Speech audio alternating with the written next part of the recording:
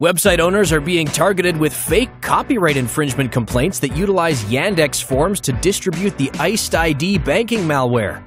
The threat actors use a website's contact page to send legal threats convincing recipients to download a report supposedly containing proof of copyrighted material used without permission.